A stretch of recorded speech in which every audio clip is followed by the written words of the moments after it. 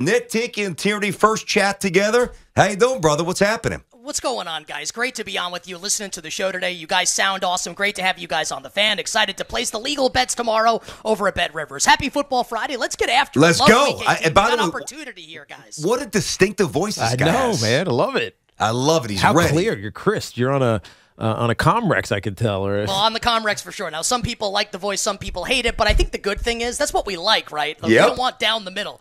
Like me or hate me, just react. That's what I'm Exactly. Yeah, for. just don't view us as benign talents. Have a reaction, man. I'm totally with sir. you.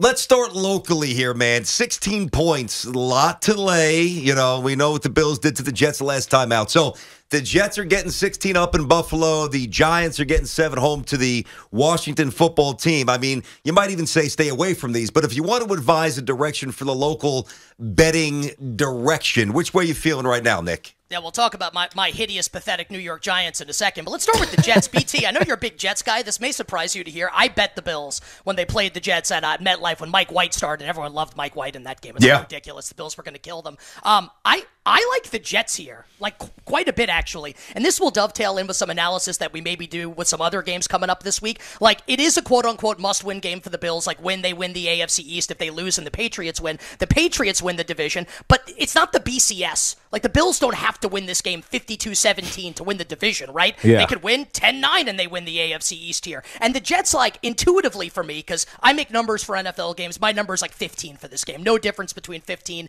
and 16. So I don't have a number edge necessarily with this game, but intuitively here, I think if the Bills jump out to a big lead in this game, why would they play their guys the entire way through? They know what their seed is going to be. So I think they'll pull guys. Also, the Jets have been super competitive. I agree with you guys with what you were saying. Jets more hope than the Giants. I think clearly moving forward here. Love what the Jets did last week against Tampa, even losing at the end. So I think like intuitively, I think the Jets make a lot of sense here. I don't think we're going to get a 17, which is what we would look for here. 17 is uh, uh, more of a key number than 16 or 15. Yep. So Jets plus 16, I kind of like. Now, As here's the thing. No, before you get to the Giants, and, and it's interesting because I, I have bet against the Jets a few times this year, like at their at their dormant worst.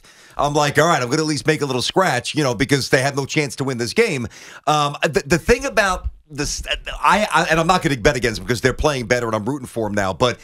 The re- without Berrios, man. I mean, if you take away Berrios the last couple of weeks, where's the offense? So with, with him being hurt, I don't know how the Jets are going to score points to cover that number. Sure. I think what we've seen with Buffalo, though, and we saw this a little bit last week in the red zone um, against Atlanta, like this team gets down by the red zone and they've been a little stagnant. And I think that they're leaning more on the ground game, and Devin Singletary's been a revelation for them, honestly. And I think he's going to be a really important contributor for them when they get to the postseason if they're going to make a run potentially, get, get back to their first Super Bowl since 1994, where I. I mean, look, of course, and I and I've said this with, with other hosts, right, and on my show and, and other spots I do around the country. Like locks exist on like doors and like bank vaults. That's Like, it. they- like, That's like it. They don't. There's no such thing as a lock. That's true. So me saying I like the Jets, you could be right, BT. The Jets might not score in the game. The Bills could win the game 35 nothing. Just that I think, like at this number, Yep. given the situation that we have, you are paying a tax to bet Buffalo. It is the must-win tax, and I don't know if we can handicap like what that actually means. Okay. Yeah. I'll bet the Jets. Coming got up you. How about the I you. Giants? They're getting seven here. Washington's probably a little bit upset if you can have a billboard game for teams that aren't in the postseason and have no chance. But what about the Giants?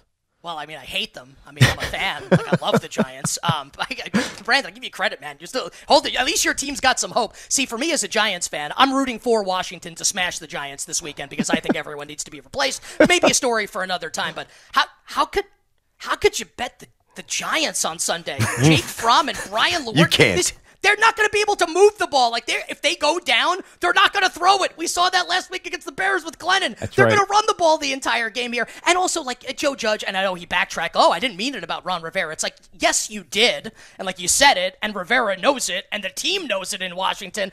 I actually think Washington's going to smash them on Sunday. Now, I bet six and a half earlier in the week for the uninitiated people that are just getting into this. There is a massive difference between laying six and a half and 7 That means you win on seven as opposed to pushing on seven, which along with three is one of the, the two key numbers, most key numbers. So big difference between six and a half and seven. I would still never, ever, ever bet the Giants in this game. And I'm also rooting for Washington. So let's go Washington on Sunday. Beat down the Giants. I think this is the only way the change can be affected. Um, I'm sorry, Tiki and Charlie, the Giants fans out there. I mean- But wait, why are you rooting against him? I I know, I know, know you're right? pissed at him. Why are you rooting against him? because I think that Joe Judge should lose his job. Okay. Um, I, I don't think he deserves a third year. And uh, I know people will say, well, you know, the team's not good and they're playing with the backup quarterback and the line stinks. And like, okay, like we can have that conversation. But what about like earlier in the year when everyone was healthy? My problem with Judge is he's way too conservative. Like, I feel like he's the type of guy that gets aroused by sending the punter and the kicker out there. He makes terrible in game decisions. Like when the team is good. So, like, if the roster is better next year, this dude's going to be punting on fourth and two from the opposition's 40 yard line. Yeah, Like, like, I mean- I don't want this guy as my head coach. Get him I mean- overgrown phys ed teacher. Goodbye. if there is out. a if there was a time to experiment with can we get this fourth and four on our own 40 yard line it'd be this year Oh, he better be aggressive, not, Sunday, not at the very not, least. not next year Hey, How about the Chargers game opening drive, fourth and three from the Chargers 40? He punts. Punts. Loser. He's Punts. a loser, I man. know. Sorry. Could be a nice guy. I don't know him. I don't know him I hear you. Hey, let me coach, let, let me get some of these other ones. I I have I have the interesting game to me, even though it means literally nothing, is the Green Bay Packers and the Detroit Lions. Because I don't know if Aaron Rodgers is going to play the whole game or play even at all. The Detroit Lions have been interesting this year. They're getting three. I, I mean, it feels like that line should be enormous. It's not for a reason. Give me your take on that. Yeah, I want to touch on this and then Bengals Browns if we have some time because I think they kind of operate in the same vein here. Yes. So, I mean, Matt LaFleur and Aaron Rodgers saying, like, oh, well, LaFleur wants to play. Rodgers in the game doesn't want to give him three weeks off. Rodgers says he wants to play. If, like, this is anything more than, like, fourth game of the preseason, hand it off twice, throw one pass, and, like, hit the sideline, like, there should be, like, a federal investigation into what's happening in Green Bay. Like, they have the number one seed. Yeah. Who cares about the game? That's right. I, I made a number for this game earlier in the week, assuming that Jordan Love was going to be the quarterback Yep. and that Jared Goff would be the quarterback for the Lions. It does look like, by the way, now that Goff is going to play quarterback for the Lions on Sunday. My number for the game is three. So Green Bay minus three, I think, is a fair number if it's going to be Jordan Love and backups playing the entire game. So here's what I think is going to happen.